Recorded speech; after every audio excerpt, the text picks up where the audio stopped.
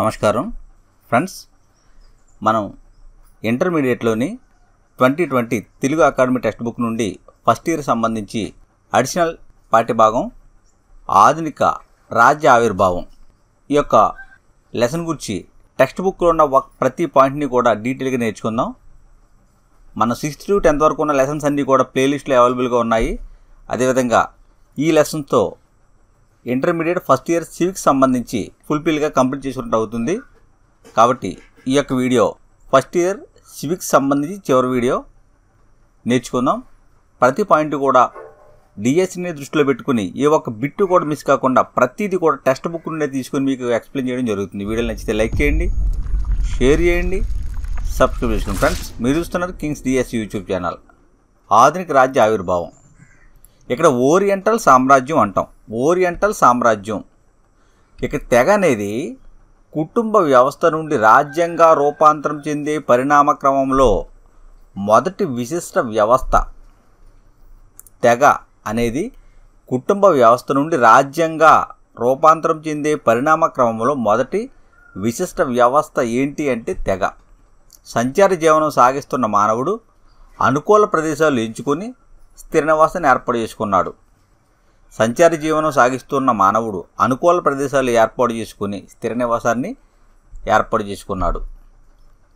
ఉదాహరణ ఏంటి అని చూసినట్లయితే Ganga Nile Euphrates Tigris yellow నది ఈ నదీ పరివాహ ప్రాంతాలలో ప్రాచీన మానవులు స్థిర నివాసాలు ఏర్పాటు చేసుకున్నట్లు మనం గమనించవచ్చు.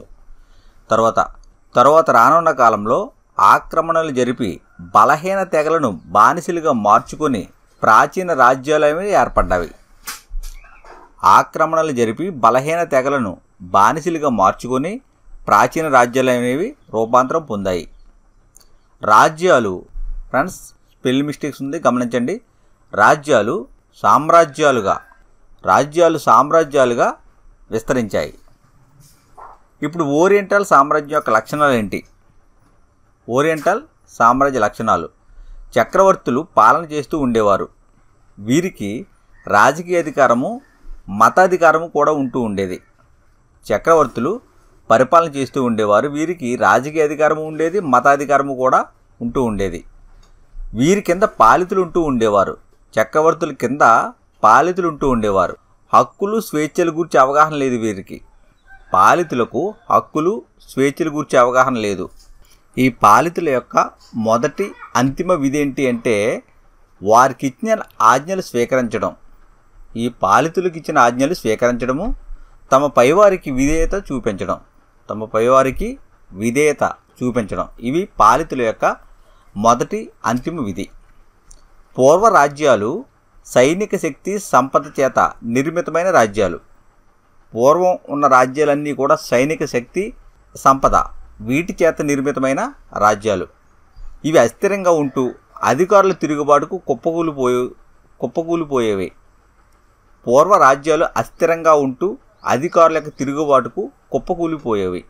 బాబిలోనియన్స్కు శాస్త్రీయ జ్ఞానము ఈజిప్షియన్లకు సమయ విభజన గణిత గణనల గురించి తెలుసు. సుమెరియన్లు అధికార మార్పిడి వ్యవస్థ వార్షిక నియామకాలు రహస్య ఓటు పద్ధతి అనుసరించారు. అదేవిధంగా ఆర్యన్స్ రాజ్యాంగబద్ధ రాజరిక పద్ధతిని ద్విసభా విధానాన్ని స్పీకరు ప్రాతినిధ్య ప్రజాస్వామ్యానికి ఉపకరించే ప్రక్రియలను అనుసరించారు. ఆర్యన్సు రాజ్యాంగబద్ధ రాజరిక పద్ధతి ద్విసభా విధానము స్పీకరు ప్రాతినిధ్య ప్రజాస్వామ్యానికి ఉపకరించే ప్రక్రియలు అనుసరించారు ఈ ఆర్యన్స్. గ్రీకు నగర రాజ్యాలు. క్రీస్తు పూర్వం పదవ శతాబ్దంలో ఈ గ్రీకు నగర రాజ్యాలు అభివృద్ధి పొందాయి. గ్రీకు నగర రాజ్యాలు ఎప్పుడు అభివృద్ధి పొందాయి అంటే క్రీస్తు పూర్వం పదవ శతాబ్దంలో. ఈ రాజ్యాల నుంచే రాజనీతి శాస్త్ర అధ్యయనం అనేది మొదలైంది గ్రీకు నగర రాజ్యాల నుంచే రాజనీతి శాస్త్ర అధ్యయనము మొదలైంది ఈ గ్రీకు నగర రాజ్య లక్షణాలు ఏంటి అంటే రాజ్యాన్ని సమాజాలుగా గుర్తించారు.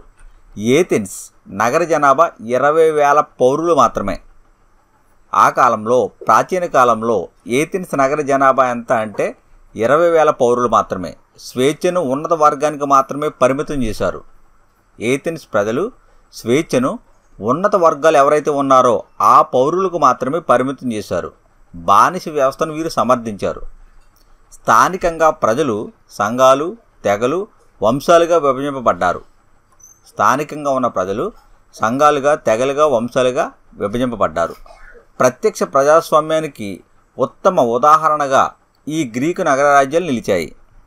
ప్రత్యక్ష ప్రజాస్వామ్యానికి ఉత్తమ ఉదాహరణలుగా గ్రీకు నగర రాజ్యాలు నిలిచాయి.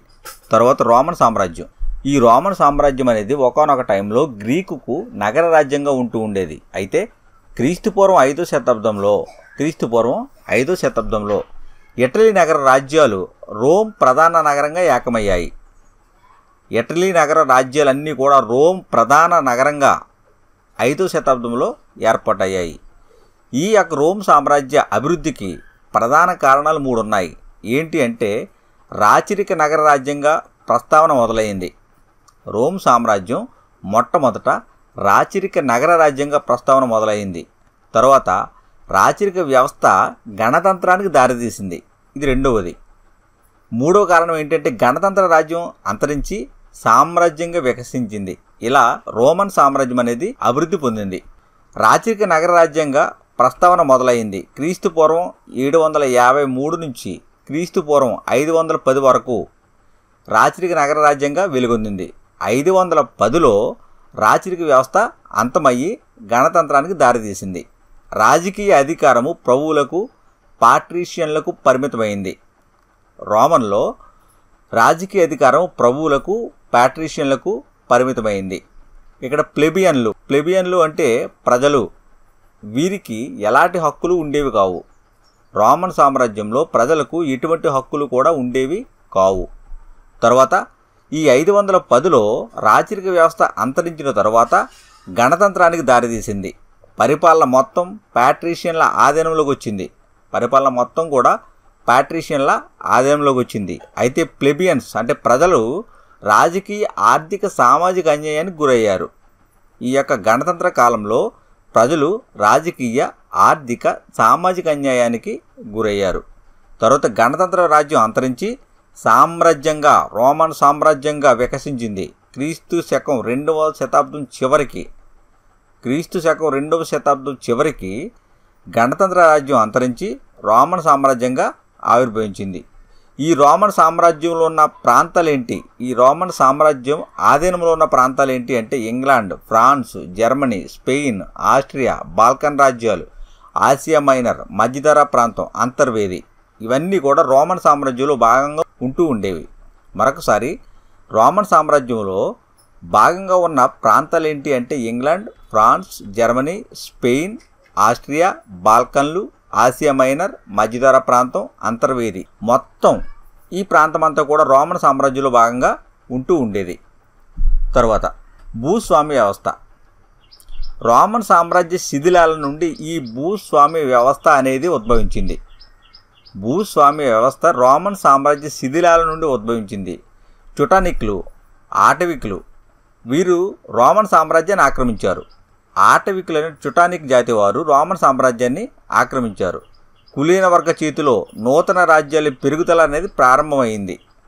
ఇక్కడ భూస్వాములను పిఫ్ లేదా ఫ్యూడ్ అనేవారు.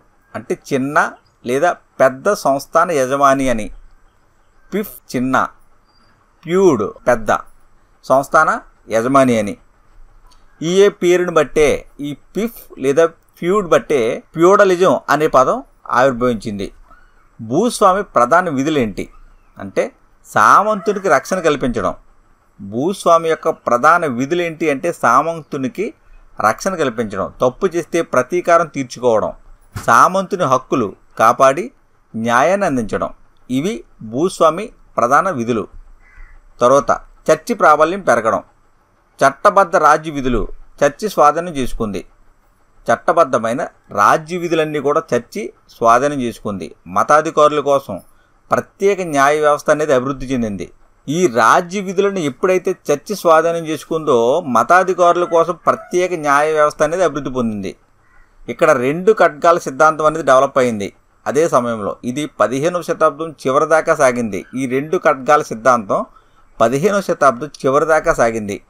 ఆధునిక యుగం ఉదయించడానికి ఈ రెండు ఖడ్గాల సిద్ధాంతం కారణమైంది. ఆధునిక యుగం ఉదయించడానికి రెండు ఖడ్గాల సిద్ధాంతం కారణమైంది. పునరుజ్జీవనం. ఆధ్యాత్మిక స్థానంలో భౌతికవాదాన్ని వ్యక్తి శ్రేయోవాదాన్ని భర్తీ చేసింది. ఆధ్యాత్మిక స్థానంలో భౌతికవాదాన్ని వ్యక్తి శ్రేయోవాదాన్ని భర్తీ చేసింది. రాజ్యానికి స్వతంత్రత సాధ్యమైంది.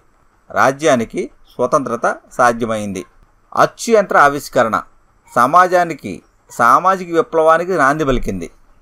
అచ్చు యంత్ర ఆవిష్కరణ అనేది సామాజిక విప్లవానికి నాంది పలికింది. పోపు బలహీనపడడంతో లౌకికవాదం పుంజుకుంది. పోపు ఎప్పుడైతే బలహీనపడ్డాడో అప్పుడు లౌకికవాదం అనేది పుంజుకుంది. ఇక్కడ వెస్ట్ ఫెయిలియర్ ఒప్పందం. ఇది క్రీస్తు శకం పదహారు వందల నలభై ఎనిమిదిలో అక్టోబర్ ఇరవై నాలుగున జరిగింది. క్రీస్తు శకం పదహారు వందల నలభై ఎనిమిదిలో అక్టోబర్ ఇరవై నాలుగున వెస్ట్ఫీలియా ఒప్పందం జరిగింది. ఇది ఐరోపా దేశాలలో ముప్పై సంవత్సరాల యుద్ధానికి చరమగీతం పాడింది. వెస్ట్ఫీలియా ఒప్పందం అనేది ఐరోపా దేశాలలో ముప్పై సంవత్సరాల యుద్ధానికి చరమగీతం పాడింది. జాతి రాజ్యం. జాతి రాజ్యం అనేది ఆలోచన మరియు ఆధునిక రాజ్య వ్యవస్థకు కీలకము. జాతి రాజ్య భావన. ఈ జాతి రాజ్య భావన ప్రభావం చేత రాజ్య విధానం ద్వారా ఉమ్మడి జాతీయ సంస్కృతి సృష్టించబడింది. రాజ్య విధానం ద్వారా ఉమ్మడి జాతీయ సంస్కృతి సృష్టించబడింది. ఒప్పంద సూత్రాలు. ఈ వెస్ట్ఫేలియా సంధి యొక్క ఒప్పంద సూత్రాలు ఏంటి? అంటే రాజ్యాలకు సార్వభౌమాధికారము చట్టబద్ధత సమానత్వము కూడా లభించాయి. రాజ్య అంతర్గత వ్యవహారాలలో మరొక రాజ్యం జోక్యం చేసుకోకూడదు అని ఒక కండిషన్ అనేది విధించారు.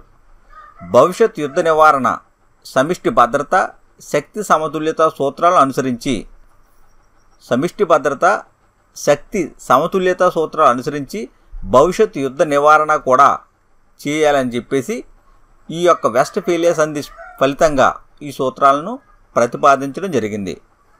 ఫ్రెండ్స్ ఇంతటితో twenty twenty Telugu academy first year సివిక్స్కి సంబంధించి ప్రతి పాయింట్ కూడా కంప్లీట్ చేసుకోవడం జరిగింది. తర్వాత లెసన్స్ అన్నీ కూడా సెకండ్ ఇయర్ సంబంధించి ప్లేలిస్టులు మీకు అవైలబుల్గా ఉంచుతాం. మీకు కావాలనుకుంటే ఆ లెసన్స్ కూడా మీరు చూసి డిఎస్సిలో మంచి ఉత్తీర్ణత సాధిస్తారని కోరుకుంటూ మీ కింగ్స్ డిఎస్సి థ్యాంక్ యూ